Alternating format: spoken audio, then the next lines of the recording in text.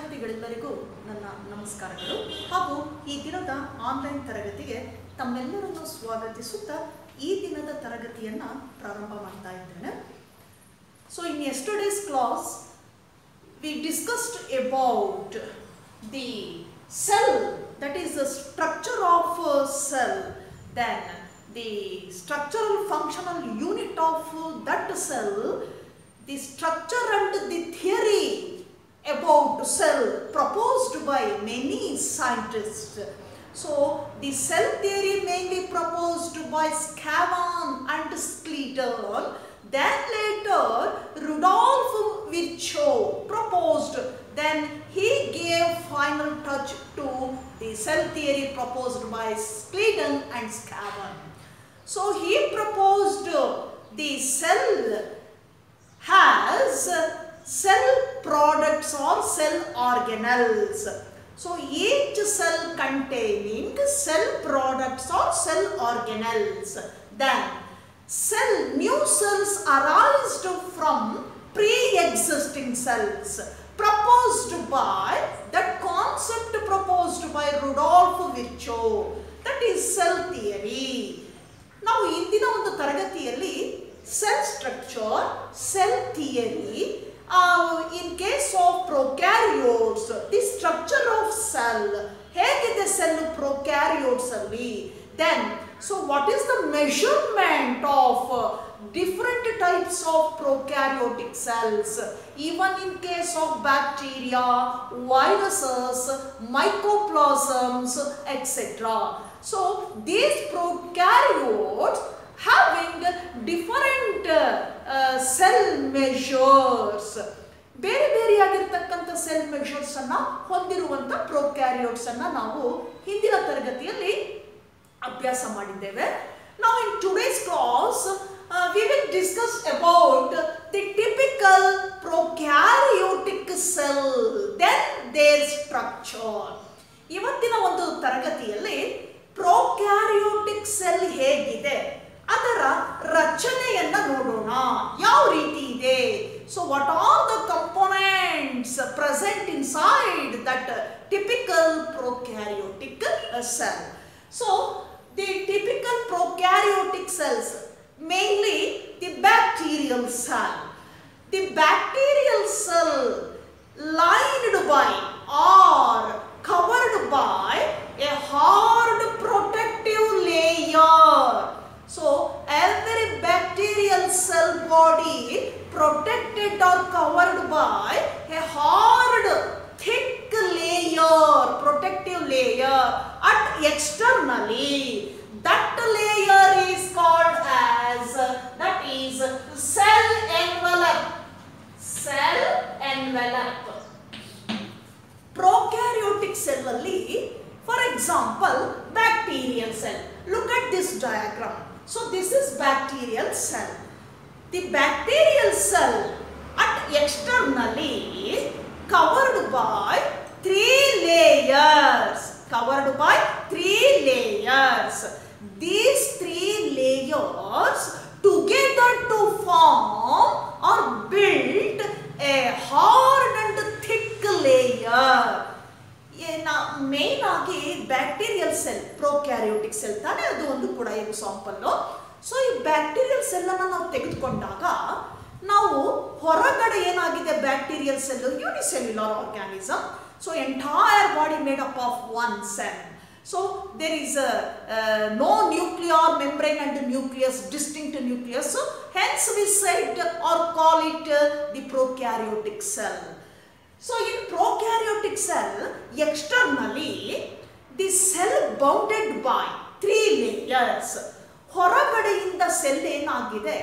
ಮೂರು ಲೇಯರ್ಸ್ಗಳಿಂದ ಪದರಗಳಿಂದ ಆವೃತವಾಗಿದೆ ಈ ಮೂರು ಪದರಗಳು ಸೇರಿ ಒಂದು ಥಿಕ್ಕಾಗಿರುವಂಥ ದಪ್ಪವಾಗಿರುವಂಥ ಹೊರಪದರವಾಗಿ ಏನಾಗಿದೆ?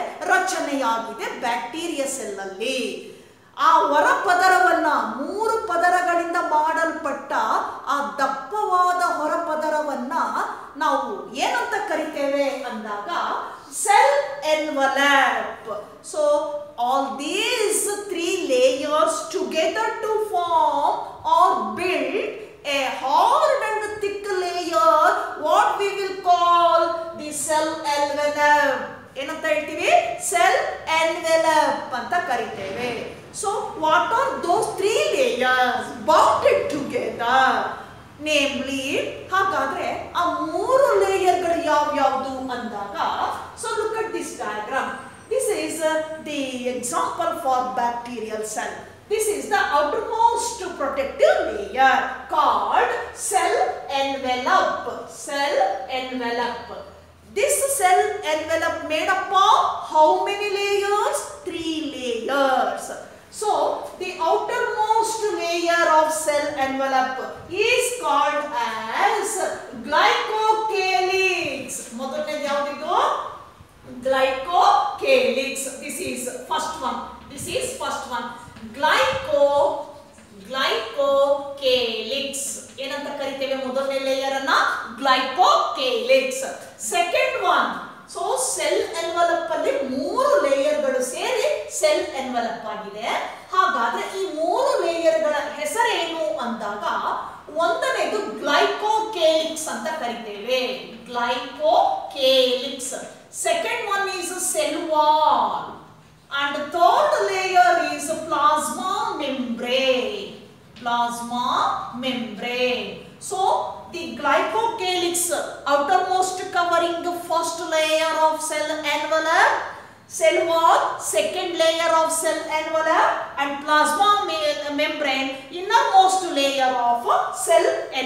envelope these three layers uh, together to form a thick layer called cell envelope ಈ ಮೂರು ಪದರಗಳು ಸೇರಿ ಒಂದು ಪದರವಾಗಿದೆ ದಪ್ಪವಾದ ಒಂದು ಪದರವಾಗಿದೆ ಅದನ್ನ ಸೆಲ್ ಎನ್ವಲಪ್ ಅಂತ ನಾವು ಕರಿತೇವೆ so glycocalyx that is the outermost layer of cell envelope glycocalyx so it is uh, composed of uh, some uh, pigments or granules. Glycocalyx made up of uh, granules or other some substances. Then it is differ in different bacteria with their composition. ಈ glycocalyx ಅನ್ನುವ ಪದರ ಕೆಲವು ವಸ್ತುವಿನಿಂದ ಕೂಡಿದೆ ಬ್ಯಾಕ್ಟೀರಿಯಾದಲ್ಲಿ ಏನಾಗುತ್ತೆ ಬೇರೆ ಬೇರೆ ಬ್ಯಾಕ್ಟೀರಿಯಾದಲ್ಲಿ ಬೇರೆ ಬೇರೆ ರೀತಿಯ ಕಾಂಪೋಸಿಷನ್ ಅನ್ನ ಹೊಂದಿದೆ ಗ್ಲೈಕೋಕೇಲಿಕ್ಸ್ ಅಂತ ಹೇಳ್ತೇವೆ glycocalyx that coming to the the K glycocalyx uh, layers so this glycocalyx outermost layer of cell envelope also lined by a sheath also lined by a sheath so this is the outermost layer. Look at this diagram. So this is a glycocalyx. Glycocalyx again, so Varapadara again made up of or lined by a sheath. So a thin or thick sheet. Glycocalyx also made up of a thin or thick sheet. The thin sheet of glycocalyx is called slime layer slime layer the thick layer of glycocalyx is called capsule capsule glycocalyx ಏನಾಗಿದೆ ಮತ್ತೆ ತೆಳುವಾದ ಒಂದು ಪದರದಿಂದ ಮಾಡಲ್ಪಟ್ಟಿದೆ in some bacteria it has thin sheath ಕೆಲವು ಬ್ಯಾಕ್ಟೀರಿಯಾದಲ್ಲಿ ತೆಳು ಪದರ ಹೊಂದಿದೆ. ಯಾವುದು? ಗ್ಲೈಕೋಕೇಲಿಕ್ಸ್ ಒಳಗಡೆ ಮತ್ತೊಂದು ಪದರ. ಆ ರೀತಿ ಇದ್ದರೆ ಅದನ್ನ ಸ್ಲೈಮ್ ಲೇಯರ್ ಅಂತ ಕರಿತೇವೆ. ಏನಂತ ಕರಿತೀವಿ? Slime layer. If it is thick ಅದೇನಾದರೂ ಸ್ವಲ್ಪ ದಪ್ಪವಾಗಿತ್ತು ಅಂದ್ರೆ ಗ್ಲೈಕೋಕೇಲಿಕ್ಸ್ ಅಲ್ಲಿರುವಂತ ಇನ್ನೊಂದು ಪದರ ದಪ್ಪವಾಗಿತ್ತು ಅಂತಂದ್ರೆ ಅದನ್ನೇನಂತ ಕರಿತೇವೆ ಕ್ಯಾಪ್ಸ್ಯೂಲ್ ಅಂತ ಕರಿತೀವಿ capsule so the glycocalyx made up of either a thin or thick shape If it is thin layer, that is called slime layer. If it is thick layer, that is called capsule. So some bacteria have the thin layer, that is slime layer. So remaining some bacteria have the thick layer nothing but a capsule. So that is the brief account of uh, the outermost covering layer of a cell envelope that is uh, glycocalyx. Now the second layer cell wall cell wall is the second layer of cell envelope cell envelope ನ ಎರಡನೇ ಪದರ ಯಾವುದಪ್ಪ ಅಂದಾಗ cell wall so cell wall provides the strength and the definite structure that depends on the shape of the bacteria ಈ cell wall ಏನ್ ಮಾಡುತ್ತೆ ಅಂದ್ರೆ bacterial ಸೆಲ್ಲಿಗೆ ಒಂದು ಸ್ಟ್ರಕ್ಚರ್ ಅನ್ನ ಕೊಡುತ್ತೆ ಡೆಫಿನೆಟ್ ಸ್ಟ್ರಕ್ಚರ್ ಅನ್ನ ಕೊಡುತ್ತೆ. ಸರಿಯಾದ ನಿರ್ದಿಷ್ಟವಾಗಿರುವ ಆಕಾರ ಕೊಡುತ್ತೆ. ಜೊತೆಗೆ ಏನ್ ಕೊಡುತ್ತೆ ಇದು ಅಂದ್ರೆ ಒಳ್ಳೆಯ ಒಂದು ಸ್ಟೆಬಿಲಿಟಿಯನ್ನ ಕೊಡುತ್ತೆ. ಬ್ಯಾಕ್ಟೀರಿಯಾ ಒಂದು ಸೆಲ್ಗೆ ಏನ್ ಕೊಡುತ್ತೆ ಅದು? ಸೊ ಇಟ್ ಪ್ರೊವೈಡ್ಸ್ ಸ್ಟ್ರೆಂತ್ ಬಲವನ್ನು ಕೊಡುತ್ತೆ ಅದಕ್ಕೆ. Because the bacteria they survive under extreme conditions like extreme hot or extreme cold or salinity. ಈ ಒಂದು ಸೆಲ್ವಾಲು ಸ್ಟ್ರೆಂತ್ ಅನ್ನ ಯಾಕೆ ಕೊಡುತ್ತೆ ಅಂದಾಗ, ಆ ಸ್ಟ್ರೆಂತಿನಿಂದಲೇ ಏನಾಗುತ್ತೆ ಬ್ಯಾಕ್ಟೀರಿಯಾ? ಕೆಲವು ಸಂದರ್ಭದಲ್ಲಿ ಅತಿಯಾದ ಉಷ್ಣಾಂಶದಲ್ಲೂ ಕೂಡ ಬದುಕಿ ಉಳಿಯುತ್ತೆ. ಅತಿಯಾದ ತೇವಾಂಶದಲ್ಲೂ ಕೂಡ ಬದುಕುತ್ತೆ. ಅಥವಾ ಸಲೈನಿಟಿ ಕ್ಷಾರೀಯವಾಗಿರ್ತಕ್ಕಂಥ ವಾತಾವರಣದಲ್ಲೂ ಕೂಡ ಬದುಕುತ್ತೆ. ಸೊ ಹಾಗಾಗಿ ಸೊ ಏನ್ ಸರ್ವೈವ್ ಆಗ್ತದೆ ಇದು? ಅದಕ್ಕೆ ಕಾರಣ so cell wall provides the strength to the cell body ಆ ಸೆಲ್ ಬಾಡಿಗೆ ಶಕ್ತಿಯನ್ನ, ಒಂದು ಸ್ಟ್ರೆಂತ್ ಅನ್ನ ಕೊಡುತ್ತೆ cell wall coming to the third layer, plasma membrane. So it is the third and innermost layer of cell envelope. Cell envelope na moorane padara that is plasma membrane. Plasma membrane plays an important role during the uh, osmosis that is diffusion of uh, the solutes or solvents from outside to inside inside to outside. So in the sense the it permits some substances to allow inside and it is not permit or permeable to some substances uh, from inside to outside or outside to inside. So it plays a semi-permeable membrane. It plays a semi-permeable membrane because it permits to allow some substances from outside to inside the body so plasma membrane ಏನ್ ಮಾಡುತ್ತೆ? ಕೆಲವು ವಸ್ತುಗಳನ್ನ bacteria cell ಒಳಗಡೆ ಹೊರಗಡೆಯಿಂದ ಒಳಗಡೆ ಬರೋದಕ್ಕೆ hello ಮಾಡ್ತದೆ. ಇನ್ನು ಕೆಲವು ವಸ್ತುಗಳನ್ನ ಏನು ಮಾಡುತ್ತೆ? ಅಲ್ಲೇ ತಡೆ ಹಿಡಿಯುತ್ತೆ ಅದು. ಹಾಗಾಗಿ ಆ ಒಂದು ಕೆಲಸವನ್ನ ನಾವು ಪರ್ಮಿಯಬಿಲಿಟಿ ಅಂತ ಕರಿತೇವೆ.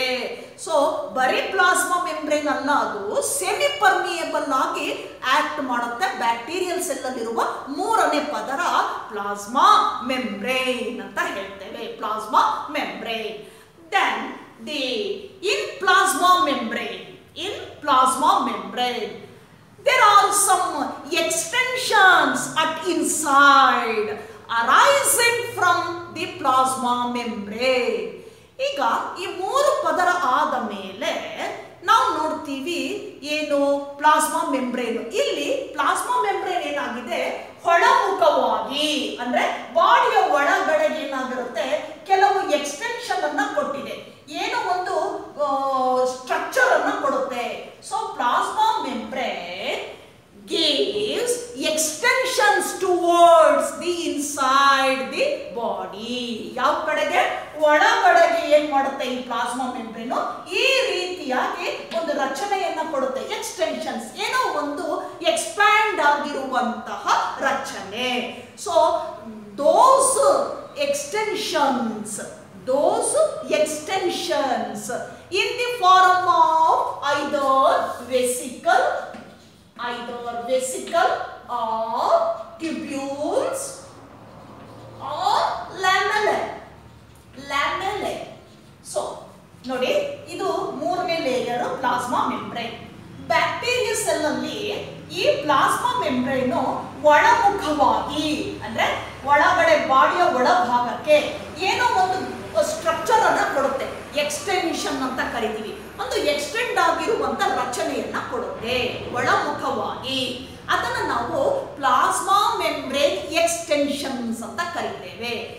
ಅದೇನು ಒಳಮುಖವಾಗಿ ಕೊಡುವಂತ ರಚನೆ ಇದೆ, ಅದು ಯಾವ ರೀತಿನಲ್ಲಿರುತ್ತೆ ಅಂತಂತಂದ್ರೆ either in the form of vesicles ಈ ಟೈಪ್ ಇರುತ್ತೆ. ವೆಸಿಕಲ್ಸ್ ನಥಿಂಗ್ ಬಟ್ ಈ ತರ ಸ್ಯಾಟಲೈಟ್ ಸ್ಟ್ರಕ್ಚರ್ ಇಲ್ಲಿ ನೋಡಿ, ಈ ತರ ಕಾಣ್ತಾ ಇರ್ತದೆ. ಈ ತರ ಕಂಡು ಬಂದ್ರೆ ಆ ಒಳಭಾಗದ ರಚನೆ ಎಕ್ಸ್ಟೆನ್ಷನ್ ಇದನ್ನ ವೆಸಿಕಲ್ ಅಂತ ಕರಿತೇವೆ. Some time so extension nothing but long tubule like structure ಇಲ್ಲಿ ನೋಡಿ ಈ ತರ ಟ್ಯೂಬ್ ಲೈಕ್ ಕಾಣಿಸುತ್ತೆ. So that that is in tubules in the form of tubules. Or in in the in of lamellae ಈ type ಕಾಣ್ತಿರ್ತದೆ. Lamellae ಅಂದ್ರೆ ಈ type ಕಾಣಿಸ್ತಾ ಇರ್ತದೆ. So this structure is lamellae so the inside extensions from the plasma membrane in the form of vesicle or tubules or lamellae so that is the plasma membrane extension ಅದನ್ನೇನಂತ ಕರಿತೀವಿ? Plasma membrane extension ಅಂತ ಹೇಳ್ತೇವೆ. That so another important layer that is called mesosome that is called mesosome so that mesosomes again extended from the plasma membrane ನಾವು bacteria cell ಅಲ್ಲಿ ಇನ್ನೊಂದು ಉತ್ತಮವಾಗಿರ್ತಕ್ಕಂತಹ layer ಅನ್ನು ನಾವು ನೋಡ್ತೀವಿ. ಒಳಭಾಗದಲ್ಲಿ ಅದು ಎಲ್ಲಿಂದ ಪ್ರಾರಂಭವಾಗುತ್ತೆ? ಪ್ಲಾಸ್ಮಾ ಮೆಂಬ್ರೇನ್ ಇಂದ ಪ್ರಾರಂಭವಾಗ್ತದೆ. ಪ್ಲಾಸ್ಮಾ ಮೆಂಬ್ರೇನ್ ಇಂದ ಪ್ರಾರಂಭವಾಗುತ್ತೆ. ಸೊ ಇದನ್ನ ನಾವೇನಂತ ಕರಿತೇವೆ? ಮೀಸೋಝೋಮ್ ಅಂತ ಕರಿತೀವಿ. So those extensions nothing but mesosomes ನಾನು ಇಷ್ಟೊತ್ತೇನು ಹೇಳಿದೆ, ಆ ಏನು ಒಳಗಡೆ ಬರುವಂತಹ ರಚನೆ ಇದೆ ಪ್ಲಾಸ್ಮಾ ಮೆಂಬ್ರೇನಿಂದ ಒಳಭಾಗಕ್ಕೆ ಈ ಥರ ಆ ರಚನೆ ಏನಾಗಿದೆ, ಅದನ್ನು ನಾವು ಮೀಸೋಝೋಮ್ ಅಂತ ಕರಿತೀವಿ. ಈ ಮೀಸೋಝೋಮ್ ಈ ಆಕಾರದಲ್ಲಿದ್ರೆ ವೆಸಿಕಲ್ಸ್ ಅಂತ ಕರಿತೀವಿ, ಅಥವಾ ಈ ತರ ಟ್ಯೂಬ್ ಲೈಕ್ ಇದ್ರೆ ಟ್ಯೂಬ್ಯುಲಾರ್ ಅಂತ ಕರಿತೀವಿ, ಅಥವಾ ಈ ತರ ಲೇಯರ್ ಟೈಪ್ ಇತ್ತು ಅಂದ್ರೆ ಅದನ್ನ ನಾವು lamellae that extension nothing but mesosome so this is one of the important structure we can seen only in prokaryotes example in case of bacterial cell so ಆ ಎಕ್ಸ್ಟೆನ್ಷನ್ ಏನಂತ ಹೇಳೋಣ ನಾವು ಮೀಸೋಸೋಮ್ ಅಂತ ಕರಿತೇವೆ ಮೀಸೋಸೋಮ್ ಎಲ್ಲಿಂದ ಪ್ರಾರಂಭವಾಗ್ತದೆ? ಲುಕ್ ಅಟ್ ದಿಸ್ ಇದು bacterial cell ಅಂದ್ರೆ ಮೂರನೇ ಲೇಯರ್ ಯಾವ್ದಿದು? Plasma membrane. ಇದು ಒಳಭಾಗದಲ್ಲಿ ಏನ್ ಮಾಡುತ್ತೆ? ಈ ತರ ಎಕ್ಸ್ಟೆನ್ಷನ್ ಅಂದ್ರೆ ಒಂದು ರಚನೆಯನ್ನ ಕೊಡುತ್ತೆ. ಒಳಭಾಗವಾಗಿ. ಇದನ್ನೇ ಮಿಸೋಸೋಮ್ ಅಂತ ಕರಿತೀವಿ. ಇದು ಆಕಾರದಲ್ಲಿ ಈ ತರ ಇತ್ತು ಅಂದ್ರೆ ಅದನ್ನ ವೆಸಿಕಲ್ಸ್ ಅಂತ ಕರಿತೀವಿ. ಆ ತರ ಟ್ಯೂಬ್ ಲೈಕ್ ಇತ್ತು ಅಂದ್ರೆ ಟ್ಯೂಬ್ಯುಲಾರ್ ಅಂತ ಕರಿತೇವೆ. ಅಥವಾ ಈ ತರ ಲೇಯರ್ ಟೈಪ್ ಇತ್ತು ಅಂದ್ರೆ ಅದನ್ನ ಲ್ಯಾಮೆಲೆ ಅಂತ ಕರಿತೇವೆ. ಲ್ಯಾಮೆಲೆ ಅಂತ ಕರಿತೇವೆ.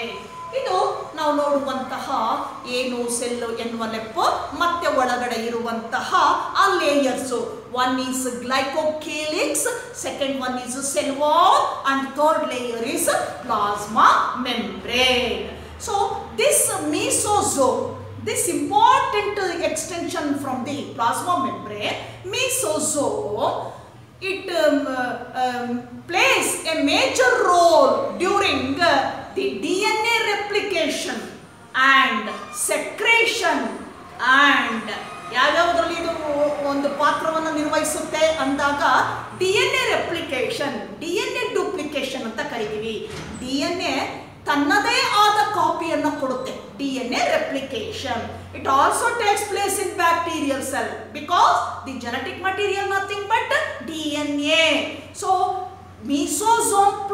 an important role in role in DNA replication, secretion, then the formation of cell cell ಫಾರ್ಮೇಶನ್ನಲ್ಲಿ D N A replication ಅಲ್ಲಿ ಸೆಕ್ರೇಷನ್ ಆಫ್ ಫ್ಲೂಯಿಡ್ ಅಲ್ಲಿ ರೆಸ್ಪಿರೇಷನ್ ಆಲ್ಸೋ ಉಸಿರಾಟ ಕ್ರಿಯೆಯಲ್ಲಿ ಹೀಗೆ ಮೀಸೋಸೋಮ್ ಏನ್ ಮಾಡುತ್ತೆ? ಸಹಾಯ ಮಾಡುತ್ತೆ. ಆ ಸೆಲ್ ಬಾಡಿಗೆ ಬ್ಯಾಕ್ಟೀರಿಯಲ್ ಸೆಲ್ ಬಾಡಿಗೆ ಏನ್ ಮಾಡುತ್ತದು ಸಹಾಯ ಮಾಡುತ್ತೆ. ಈ ಕ್ರಿಯೆಗಳಲ್ಲಿ ಡಿ ಎನ್ ಎ ರೆಪ್ಲಿಕೇಶನ್ ಅಲ್ಲಿ ಸೆಕ್ರೇಷನ್ನಲ್ಲಿ ರೆಸ್ಪಿರೇಷನ್ನಲ್ಲಿ ಸೆಲ್ ವಾಲ್ ಫಾರ್ಮೇಶನ್ನಲ್ಲಿ ಇಷ್ಟೋ ಕ್ರಿಯೆಗೂ ಕೂಡ ಏನಾಗಿದೆ ಅದು ಸಹಾಯ ಮಾಡುತ್ತೆ. ಯಾವುದು?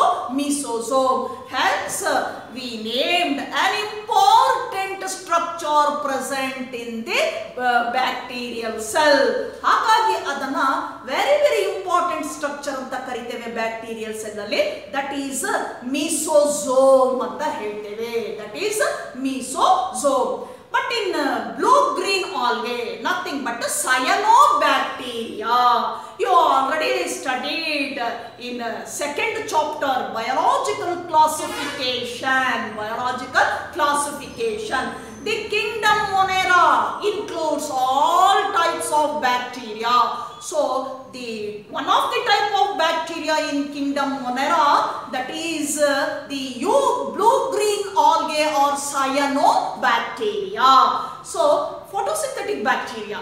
So cyanobacteria. In case of cyanobacteria, mesosomes.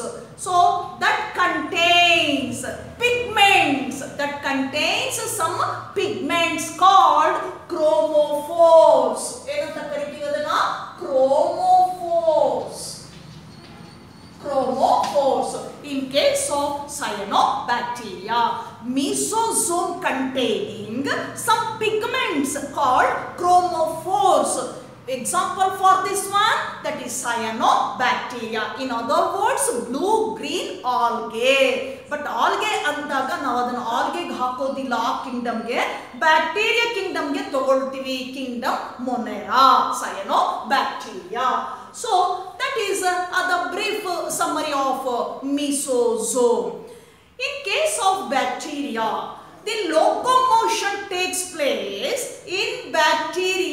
bacteria by the help of flagella. ಯಾವ ರೀತಿಯಾಗಿ ಬ್ಯಾಕ್ಟೀರಿಯಾದಲ್ಲಿ ಮೂವ್ಮೆಂಟ್ ಅನ್ನ ನಾವು ನೋಡಬಹುದು ಅಂದಾಗ by the help of a flagella ನೋಡಿ look at this diagram so this is the locomotory organs in case of bacteria so all bacteria does not having flagella but few bacteria containing or having the locomotory organ, nothing but flagella. This is flagella. Flagella. Singular flagellum.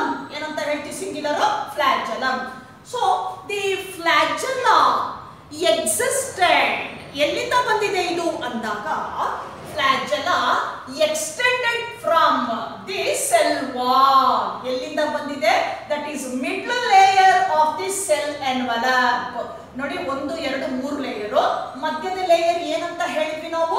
Cell wall so ಈ cell wall ಇಂದ ಏನಾಗಿದೆ? ಉದ್ದನೆಯ ಈ ರೀತಿ ನಾವು ಒಂದು ರಚನೆಯನ್ನ ನೋಡ್ತೀವಿ. ಸೊ ವಿಪ್ ಲೈಕ್ ಸ್ಟ್ರಕ್ಚರ್ ಚಾಟಿ ತರ ಕಾಣಿಸ್ತಾ ಇರ್ತದೆ. ಇದನ್ನ ನಾವು ಏನಂತ ಹೇಳ್ತೇವೆ? ಫ್ಲಾಜೆಲ್ಲಾ ಅಂತ ಕರಿತೇವೆ. ಫ್ಲಾಜೆಲ್ಲ ಏನು? Locomotory organs.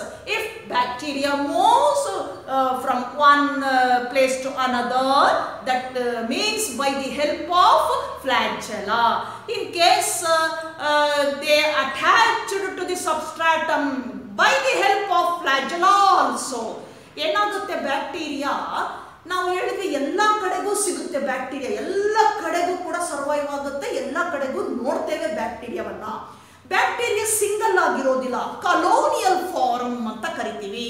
ಗ್ರೂಪ್ ಆಗಿ ಕಂಡು ಬರ್ತದೆ ಬ್ಯಾಕ್ಟೀರಿಯಾ ನಾಲ್ಕು ರೀತಿ ಬ್ಯಾಕ್ಟೀರಿಯಾವನ್ನ ಸ್ಟಡಿ ಮಾಡಿದ್ವಿ ನಾವು. Coccus bacillus vibrio and spirillum ಅಂತ ಹೇಳಿದ್ವಿ. ಹೌದಾ? ನಾಲ್ಕು ತರ ಬ್ಯಾಕ್ಟೀರಿಯಾ ಇದೆ. ಸೊ ಗ್ರೂಪ್ ಆಗಿ ಕಾಲೋನಿಯಲ್ಲಿ ಕಾಲೋನಿ ತರ ಇರ್ತದೆ ಈ ಬ್ಯಾಕ್ಟೀರಿಯಾ ಒಂದು ಕಡೆ ಅಲ್ಲ, ಎಲ್ಲ ಕಡೆ. ಎಲ್ಲಿದೆ? ಡೀಪ್ ಓಷನ್ ಅಲ್ಲಿದೆ ಸಾಯಿಲ್ ಅಲ್ಲಿದೆ ಏರ್ ಅಲ್ಲಿದೆ ಸ್ನೋ ಅಲ್ಲಿದೆ extreme hot, extreme cold then salinity, hyper salinity. ಅತ್ಯಂತ ಕ್ಷಾರ್ಯವಾಗಿರ್ತಕ್ಕಂತಹ ಒಂದು ಪರಿಸರದಲ್ಲೂ ಇರ್ತದೆ. ಹೀಗೆ ಎಲ್ಲ ಕಡೆನೂ ಬದುಕಿ ಉಳಿಯುತ್ತೆ. ಯಾವುದು ಸರ್ವೈವ್ ಆಗುತ್ತೆ ಬ್ಯಾಕ್ಟೀರಿಯಾ. ಹಾಗಿದ್ದಾಗ ಏನು, ಅಲ್ಲಿ ಸರ್ವೈವ್ ಆಗಬೇಕಾದ್ರೆ ಕೆಲವು ಸಂದರ್ಭದಲ್ಲಿ ಪ್ಲೇಸ್ ಟು ಪ್ಲೇಸ್ ಏನಾಗುತ್ತೆ? ಮೂವ್ ಆಗಬೇಕಾದ್ರೆ colony by the help of flagella ಒಂದು ರೀತಿ ಚಾಟಿ ತರ ತೆಳುವಾದ ಒಂದು ರಚನೆ ನೋಡ್ತೀವಿ. ಎಲ್ಲಿಂದ ಪ್ರಾರಂಭವಾಗುತ್ತದು ಸೆಲ್ವಾಲ್ ಒಳಗಡೆ ಮಧ್ಯದ ಲೇಯರ್ ಇದೆಯಲ್ಲ, ಅಲ್ಲಿಂದ ಎಕ್ಸ್ಟೆಂಡ್ ಆಗಿದೆ. ಅದನ್ನ ಫ್ಲಾಜಲ ಅಂತ ಕರಿತೀವಿ. ಇನ್ನು ಕೆಲವು ಸಂದರ್ಭದಲ್ಲಿ ಈ ಫ್ಲಾಜಲ ಅಲ್ಲಿರುವಂತಹ ಒಂದು ಯಾವುದಾದ್ರೂ ಸಬ್ಸ್ಟ್ರಾಟ್ಗೆ ಅಟ್ಯಾಚ್ ಆಗ್ಲಿಕ್ಕೂ ಕೂಡ ಏನು ಮಾಡುತ್ತೆ? ಹೆಲ್ಪ್ ಮಾಡ್ತದೆ. So the flagella flagella that is singular flagellum it has three parts ಈಗ ಒಂದನ್ನು ತೆಗೆದು ನಾನು ತೋರಿಸ್ತೀನಿ. ಇದರಲ್ಲಿ ಮತ್ತೆ ಮೂರು ಭಾಗಗಳನ್ನು ಐಡೆಂಟಿಫೈ ಮಾಡ್ತೀವಿ so this is nothing but flagellum singular so the, it has three parts the basal that is base base part then this is filament filament and uh, this one is so at the terminal part of the flagellum has a fine spiny appearance ಮುಂಭಾಗದಲ್ಲಿ ಚೂಪಾಗಿರುತ್ತೆ. ಒಂದ್ ರೀತಿ ಮುಳ್ಳಿನ ತರ, ಸೂಜಿಯ ತರ ಚೂಪಾಗಿರುತ್ತೆ. So this is nothing but bristle ಅಂತ ಕರಿತೀವಿ. ಬ್ರೆಸಲ್ ಅಂತ ಕರಿತೇವೆ. ಸೊ ನೋಡಿ ಹೇರಿ ಅಪಿಯರೆನ್ಸ್ ಅಥವಾ fine spiny like appearance at the tip of the flagellum that one is bristle ಅಂತ ಕರಿತೇವೆ. So base filament and bristle ಈ ಮೂರು ರಚನೆಯನ್ನ ನಾವು ನೋಡ್ತೇವೆ. ಒಂದು ಫ್ಲಾಜಲದಲ್ಲಿ ಅಭ್ಯಾಸ ಮಾಡಿದಾಗ ಇರುವಂತಹ ಭಾಗ. So the base firmly attached to the cell wall ಈ ಬೇಸ್ ಇದೆಯಲ್ಲ? ಇದು ಮಧ್ಯದ ಒಂದು ಲೇಯರ್ ಯಾವ್ದಿದೆ? ಸೆಲ್ ವಾಲ್ ಇದಕ್ಕೆ ಅಟ್ಯಾಚ್ ಆಗಿರ್ತದೆ. This is long thread-like structure called filament. Then the spiny or the fine needle like appearance that structure is nothing but a bristle so these are three parts we can see in each flagellum ಒಂದು ಫ್ಲಾಜಲದಲ್ಲಿ ನೋಡಬಹುದು then beside the flagellum ನೋಡಿ ಈ ಎರಡು ಫ್ಲಾಜಲ ಈ ಎರಡು ಫ್ಲಾಜಲದ ಪಕ್ಕದಲ್ಲಿ so we can see a protein made substance or structure called pili. P-I-L-L-I. Pili. ಈ ಫ್ಲಾಜಲ ಹೊರಡುವಂತಹ ಪಕ್ಕದಲ್ಲೇನೆ ಅದು ಎಲ್ಲಿಂದ ಸ್ಟಾರ್ಟ್ ಆಗಿದ್ರೋ ಅದರ ಪಕ್ಕದಲ್ಲಿ ಒಂದ್ ರೀತಿ ನಾವು ಸ್ಟ್ರಕ್ಚರ್ ನೋಡ್ತೀವಿ protein made structure so this is called pili P I L L I pili that finger like structure extended from the cell wall that is called fimbriae. ಮತ್ತೆ ಪಕ್ಕದಲ್ಲಿ ಬೆರಳಿನ ಆಕಾರದ ರಚನೆಯನ್ನ ನೋಡ್ತೇವೆ. ಅದನ್ನೇನಂತ ಹೇಳೋಣ? ಫಿಂಬ್ರಿಯೆ ಅಂತ ಕರಿತೇವೆ. F I M B R I A E fimbriae. That helps when bacteria attached to the substratum firmly ಇದು ಏನಕ್ಕೆ ಸಹಾಯ ಮಾಡುತ್ತೆ? ಎಲ್ಲಿ ಕಾಲೋನಿ ನೋಡ್ತೀವಿ ಬ್ಯಾಕ್ಟೀರಿಯಲ್ ಕಾಲೋನಿ, ಆ ಕಾಲೋನಿಯಲ್ಲಿ ಏನಾಗುತ್ತೆ? ಆ ಭಾಗದಲ್ಲಿರುವಂತ ಯಾವುದಾದರೂ ಒಂದು ವಸ್ತು ಸಪೋಸ್ ರಾಕ್ ಅಂತ ಇಟ್ಕೊಳ್ಳೋಣ, ಕಲ್ಲಿದೆ ಅಂತ ಇಟ್ಕೊಳ್ಳೋಣ, ಆ ಕಲ್ಲಿಗೆ ಏನಾಗುತ್ತೆ? ಫಾರ್ಮ್ ಆಗಿ ಏನಾಗುತ್ತೆ ಅದು? ಅಟ್ಯಾಚ್ ಆಗ್ತದೆ. ಅದಕ್ಕೆ ಹೆಲ್ಪ್ ಮಾಡೋದು ಯಾವುದದು? ಫಿಂಬ್ರಿಯೇ ಅಂತ ಕರಿತೇವೆ. So these are all the parts we can visible or studied in each bacterial cell nothing but prokaryotic cell prokaryotic cell ಅಲ್ಲಿ ನೋಡುವಂತಹ ನಾವು ಭಾಗಗಳು first one nuclear that is cell envelope cell envelope it consist of three layers glycocalyx cell wall and plasma membrane then the extension of plasma membrane called mesosome. Mesosome appear in the form of either vesicle or tubules or lamellae. That it plays a major role during DNA replication or secretion or respiration or cell wall formation. These are the functions of mesosome. What are the functions ಅಂತ ಕೇಳಿದಾಗ ಈ ನಾಲ್ಕು functions ಅನ್ನ ನೀವು ಬರಿಬೇಕಾಗ್ತದೆ then the ಮೋಟ if bacteria is motile movable with the help of flagella so flagellum has three part base filament and bristle. Then beside the flagella, fimbriae and pili is also present. These two structures also present Pili, pili and fimbriae. So this is the brief explanation of the prokaryotic cell structure. Uh, starts from cell envelope uh, to the inner structure, mesosome and flagella.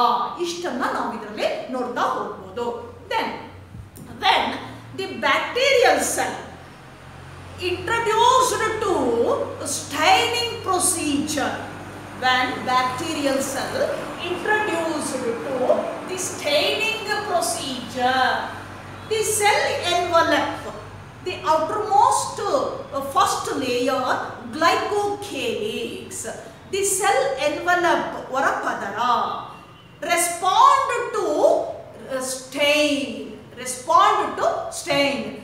so those bacterial cell envelope respond to stain that is in uh, the staining process or staining procedure so uh, such bacteria termed as gram positive gram positive ಅಂದರೆ ಬ್ಯಾಕ್ಟೀರಿಯಾದಲ್ಲಿ ಈಗ ತಾನೇ ಅಭ್ಯಾಸ ಮಾಡಿದ್ವಿ cell envelope ಇದೆ ಹೊರಪದರ ತುಂಬ hard ಆಗಿದೆ thick ಆಗಿದೆ ಯಾಕೆ ಅಂದರೆ ಮೂರು ಪದರಗಳಿಂದ ಮಾಡಿ ಒಂದೇ ಪದರ ಆಗಿದೆ. ಆ ಮೂರು ಲೇಯರ್ಸ್ ಯಾವುದು ಅಂದಾಗ glycocalyx cell wall and plasma membrane ಅಂತ ಹೇಳಿದ್ವಿ. ಈಗ ಬ್ಯಾಕ್ಟೀರಿಯಾ ಸೆಲ್ಲನ್ನು ಸ್ಟೈನಿಂಗ್ ಪ್ರೊಸೀಜರ್ಗೆ ಅಂದರೆ ಬಣ್ಣವನ್ನು ತೆಗೆದುಕೊಳ್ತಕ್ಕಂತಹ ಅದಕ್ಕೊಂದು ಸ್ಪೆಸಿಫಿಕ್ ಸ್ಟೈನ್ಸ್ ಇದೆ. ಆ ಸ್ಟೈನ್ ಸ್ಟೈನಿಂಗ್ ಪ್ರೊಸೀಜರ್ಗೆ ಅಲೋ ಮಾಡಿದಾಗ ಈ ಸೆಲ್ ಎನ್ವಲಪ್ ಏನ್ ಮಾಡುತ್ತೆ. Some bacterial cell envelope not all ಎಲ್ಲವೂ ಅಲ್ಲ. Few bacteria the cell envelope got the stain ಏನ್ ಮಾಡ ರೆಸ್ಪಾಂಡ್ ಟು ಸ್ಟೈನ್ ಅದೇನ್ ಮಾಡುತ್ತೆ? ಬಣ್ಣವನ್ನು ಹೀರ್ಕೊಳ್ಳುತ್ತೆ. ಸ್ಟೈನಿಂಗ್ ಪ್ರೊಸೀಜರಿಗೆ ಕೊಟ್ಟಾಗ ಸೆಲ್ ಎನ್ವಲಪ್ ಏನಾಗುತ್ತೆ? ಕೆಲವು ಬ್ಯಾಕ್ಟೀರಿಯಾದಲ್ಲಿ ಬಣ್ಣವನ್ನು ತೆಗೆದುಕೊಳ್ಳುತ್ತದು. ಸ್ಟೈನಿಡ್ ಸೊ ಅಂತ ಬ್ಯಾಕ್ಟೀರಿಯಾವನ್ನ ನಾವು ಏನಂತ ಹೇಳ್ತೇವೆ ಅಂದಾಗ ಗ್ರಾಮ್ ಪಾಸಿಟಿವ್ ಅಂತ ಕರಿತೇವೆ. ಇಫ್ ದೋಸ್ ಬ್ಯಾಕ್ಟೀರಿಯಾ ಆ ಕಲರಿಗೆ, ಆ ಬಣ್ಣಕ್ಕೆ ಯಾವ ರೀತಿ ಪ್ರತಿಕ್ರಿಯಿಸೋದಿಲ್ಲ ಅಂದಾಗ those are referred as gram negative gram negative so you should remember the gram positive and gram negative So ಆ ಒಂದು ಕಲರ್ಗೆ ಸ್ಪಂದಿಸಿದ್ರೆ ಬ್ಯಾಕ್ಟೀರಿಯಲ್ ಸೆಲ್ಲು ಗ್ರಾಮ್ ಪಾಸಿಟಿವ್ ಆಗುತ್ತೆ. ಕಲರ್ಗೆ ಸ್ಪಂದಿಸಲಿಲ್ಲ ಅಂದಾಗ ಗ್ರಾಮ್ ನೆಗೆಟಿವ್ ಅಂತ ನಾವು ಐಡೆಂಟಿಫೈ ಮಾಡ್ತೇವೆ. So this is the brief summary of the cell structure in case of bacteria next we move on to the next structure we can see in prokaryotic cell, that is ribosomes. So another important structure present in the all prokaryotic cells, except viruses. So ಈ ribosomes ಅಂತಕ್ಕಂಥದ್ದು ಇನ್ನೊಂದು ಒಂದು ರಚನೆಯನ್ನ ನೋಡ್ತೀವಿ ನಾವು. ಎಲ್ಲಿ? Prokaryotic cell ಅಲ್ಲಿ. Again bacterial ಸೆಲ್ಲೇ ತಗೊಳ್ಳೋಣ ನಾವು. ಇಲ್ಲೇನಾಗುತ್ತೆ?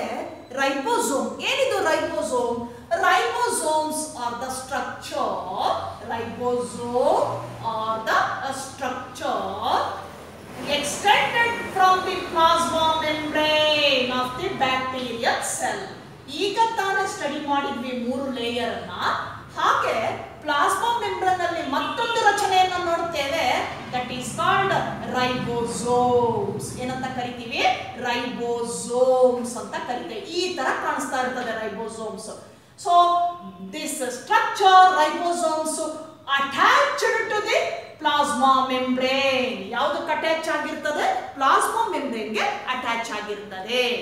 Ribosomes synthesized protein in the bacterial cell ಏನ್ ಫಂಕ್ಷನ್ ಇದ್ರದ್ದು ribosomes so they synthesize protein in the bacterial cell By the help of messenger R N M R N A so ribosomes ಏನಿದೆ ಇದು ಅನೇಕ ಈ ತರ ಈ- ಈ ತರ ಕಾಣಿಸ್ತಾ ಇರ್ತದೆ structure these structures nothing but ribosomes attached to the plasma membrane These ribosomes, what is the main function of ribosomes in prokaryotic cell? This synthesize protein ಏನನ್ನು ಸಿಂಥಸೈಸ್ ಮಾಡುತ್ತದು ಪ್ರೋಟೀನ್ ಅನ್ನ ಉತ್ಪತ್ತಿ ಮಾಡ್ತದೆ. ಯಾವುದರ ಸಹಾಯದಿಂದ? With the help of M R N A messenger R N A on these ribosomes again attached or enclosed by the single stranded M R N A ಒಂದೇ strand ಇರ್ತದೆ messenger R N A So messenger RNA takes all ribosomes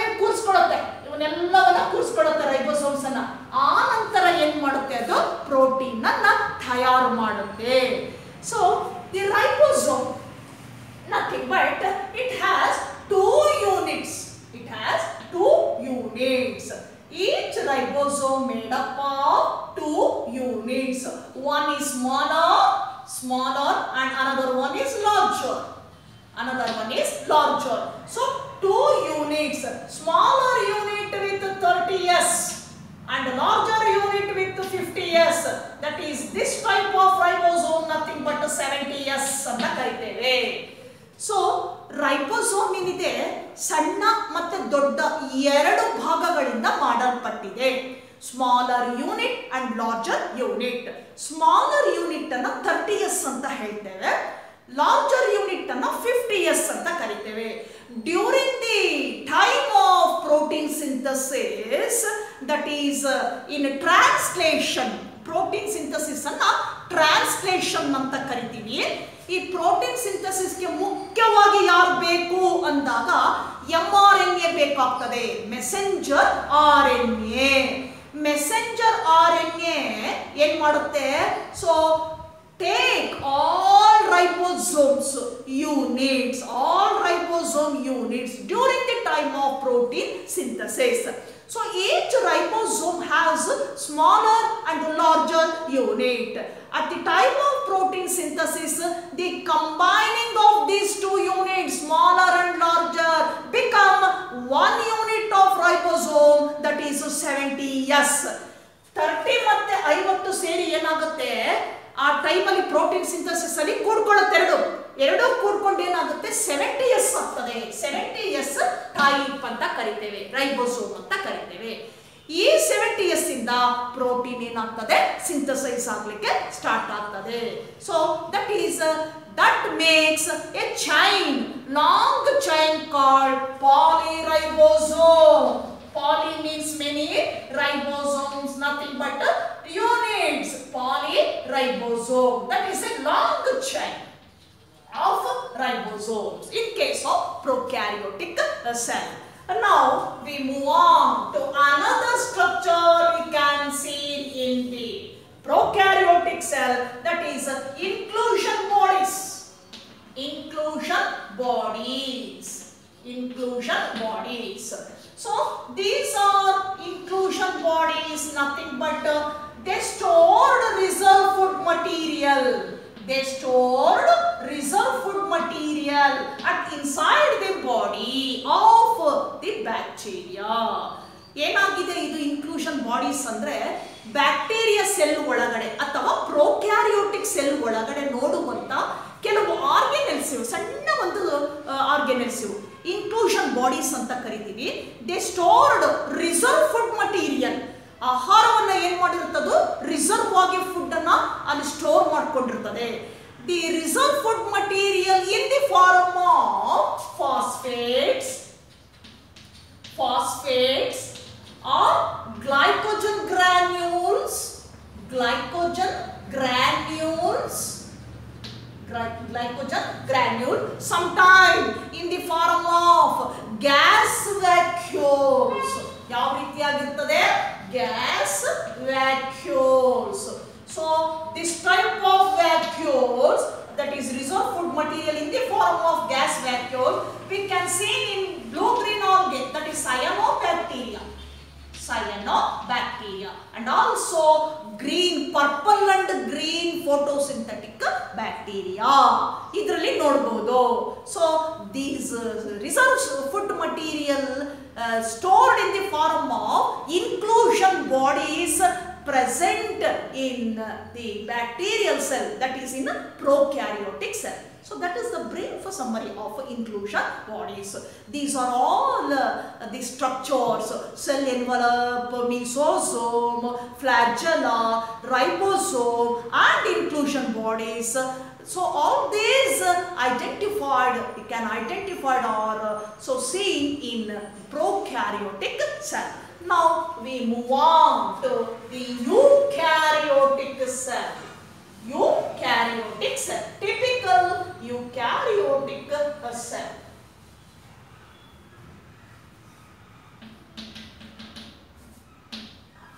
Here, look at this diagram. So the typical eukaryotic cell we can see in both plants and as well as animal cells.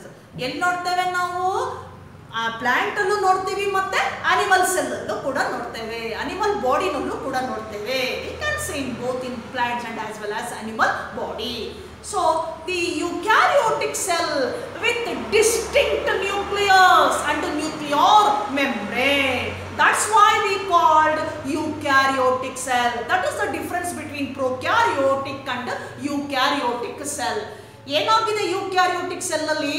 We can see the distinct nucleus with nuclear membrane so look at this diagram so this is the nuclear envelope this is nucleus distinct ಆಗಿದೆ ಅದಕ್ಕೇನೆ ನಾವು eukaryotic ಅಂತ ಕರೆಯುವಂಥದ್ದು eukaryotic cell ಅನ್ನ ನಾವು plant ಇಂದ study ಮಾಡಿದಾಗ animal ಇಂದ study ಮಾಡಿದಾಗ what are the components present inside the cell eukaryotic cell so different types of components Those are called cell products or cell organelles present inside the cell. Those organelles are absent in prokaryotic cell. If your cell organelles products prokaryotic cell irodilla. And uh, let me start with the typical plant cell. Eukaryotic cell, plant cell. So, in case of plant cell, we can see or identify a definite cell wall. Definite uh, cell wall. Then inside the plasma membrane. Here in plant cell we can see the large vacuole large vacuole vacuole nothing but one of the cell organelle present only in plant cell and absent in animal cell so one of the major difference between plant and animal cell ನಾವು plant ಸೆಲ್ಲಿಗೆ ಬಂದಾಗ we can seen or identify definite cell wall cell wall ಇದೆ plant ಸೆಲ್ಗೆ look at this this is cell wall Then inside this is plasma membrane nucleus so move towards the peripheral region plant ಅಲ್ಲಿ ಏನಾಗಿರ್ತದೆ? Cell ಅಲ್ಲಿ nucleus ಇದೆಯಲ್ಲ, ಅದು border ಆಗಿದೆ. ನೋಡಿ, ಇಲ್ಲಿ, ಇಲ್ಲಿದೆ. ಪೆರಿಫರಲ್ ರೀಜನ್ ಅಲ್ಲಿ ಇದೆ because why it moves to the peripheral region because the occupying entire cell volume occupying by large structure called vacuole ಇಲ್ಲಿ ನೋಡಿ, ಈ ವ್ಯಾಕ್ಯೂಲ್ ದೊಡ್ಡದಾಗಿರುವಂತಹ ಸೆಲ್ ಆರ್ಗನೆಲ್ಲು ಇದು ಆ ಸೆಲ್ ವಾಲ್ಯೂಮ್ನಲ್ಲಿ ಏನಾಗಿರುತ್ತೆ? ತ್ರೀ ಬೈ ಫೋರ್ತ್ ಅಲ್ಲಿ ಏನ್ ಮಾಡಿರ್ತದೋ ಆಕ್ಯುಪೈ ಮಾಡ್ಕೊಳ್ತದೆ ಮುಕ್ಕಾಲು ಭಾಗ ಆವರಿಸ್ಕೊಳ್ತದೆ. ಹಾಗಾಗಿ ಮಧ್ಯದಲ್ಲಿರಬೇಕಾಗಿರ್ತಕ್ಕಂಥ ನ್ಯೂಕ್ಲಿಯಸ್ ಏನಾಗಿದೆ so pushers towards the peripheral region ನೋಡಿ ಬಾರ್ಡಿಗೆ ಬಂದಿದೆ ಎಲ್ಲಿ ಪ್ಲಾಂಟ್ ಸೆಲ್ ಅಲ್ಲಿ so this is vacuum then mitochondria chloroplast microtubules smooth endoplasmic reticulum rough endoplasmic reticulum golgi complex.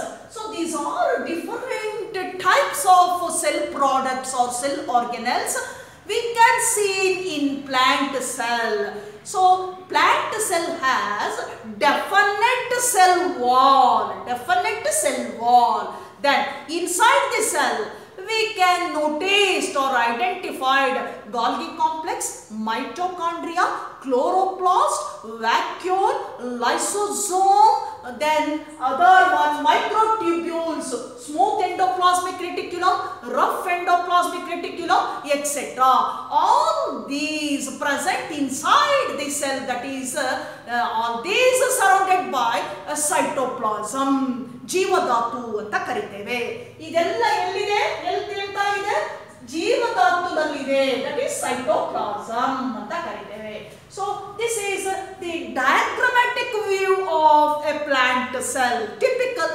eukaryotic cell example plant cell now this is the diagrammatic view of an animal cell here in animal cell cell wall is absent in animal cell, cell wall is absent. Only plasma membrane we can identify or see through the microscope. ಇಲ್ಲಿ cell wall ಇರೋದಿಲ್ಲ cell wall is totally absent in animal cell only plasma membrane is present then the nucleus present at the center of the cell then inside the nucleus that is nucleolus then nuclear envelope then we can see cell organelles like Golgi complex then uh, smooth endoplasmic reticulum mitochondria lysosomes uh, rough endoplasmic reticulum in other words, this one is called extra structure. Only we can see only in animal cell that is centrioles centrioles. So all these components present or cell organelles present inside the animal cell. So what are the differences between plant and animal cell? Here in plant cell wall is present. In animal cell cell wall is absent. In plant cell chloroplast and vacuole is present.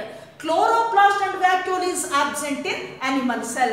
Centriole is present in animal cell. Centriole is absent in plant cell. So these are ma major differences between plant and animal cell. So what is the definite function of centriole or chloroplast or vacuole? So we can study it in later See now in our next classes. So this is the diagrammatic view of typical eukaryotic cell that is plant and animal cell. So these are the cell organelles present inside the cell surrounded by cytoplasm. So this is enough for today's uh, class. Then I will take up uh, the cell organelles with the details in the next class.